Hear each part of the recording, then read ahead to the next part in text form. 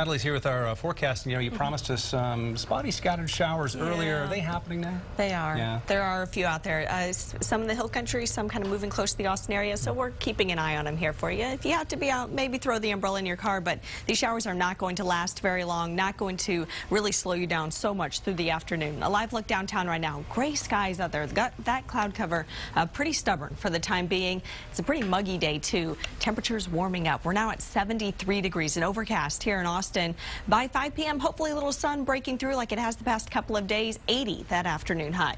Let's talk about those showers right now. A live look at our radar for the time being. You notice they're very small. We have one over northern Burnet County, one south of Blanco, another south of San Marcos. Some very spot weather, spotty weather over uh, eastern Travis County, and some moving through Lampasas too. So again, it's going to be hit or miss through the rest of the day today, whether or not you get caught in one of these showers. But if you are out and about, you could come across uh, some areas seeing a little wet roads. So you might need a couple extra minutes here and there, but that's about it.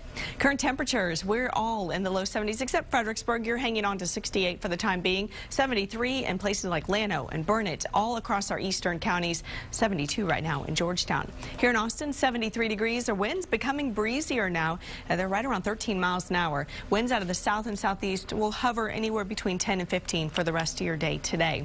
Across the state, a lot of moisture. You notice a lot of cloud cover too, and some of those spotty showers stretch all the way back down to the Mexico border. That's about our best chance for a little wet weather today. Uh, Chance right about 10%.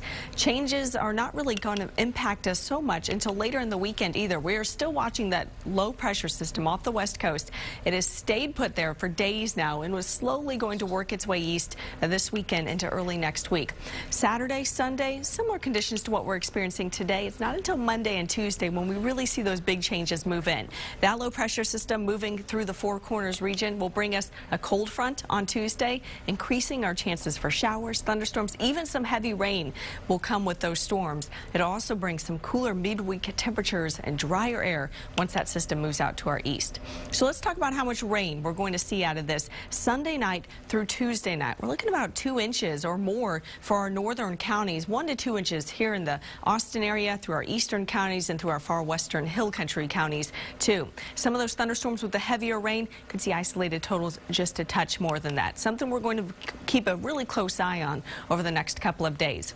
Your forecast for the rest of the day looks like this, mostly cloudy skies. I can't rule out an isolated shower. There's just so much moisture in the air.